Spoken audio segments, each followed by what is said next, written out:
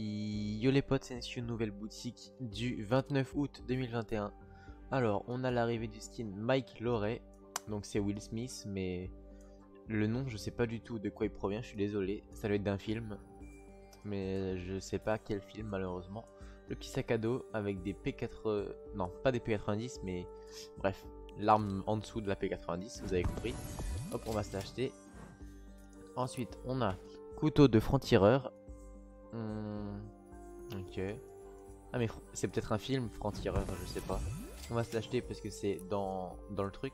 Le skin insondable avec le sac à dos que j'adore. Pareil pour le skin perplexe. Le petit revêtement, ok. On a tous les skins soldats avec les trois revêtements. En bas, on a le skin Pepper, ok. Euh, sa pioche qui coûte 1000 V-Bucks alors que normalement c'est à 800 les pioches. Le skin oppresseur, la pioche, le revêtement, et encore des petits skins. En bas, qu'est-ce qu'on a? Donc, il y a signé Rabuge, Chauffard, des petites danses. Ok. Le pack Assaut de l'ombre, le pack excentrique, J Balvin, le Major, Mecha Morty, Wonder Woman, Cyber Machin et le club de Fortnite.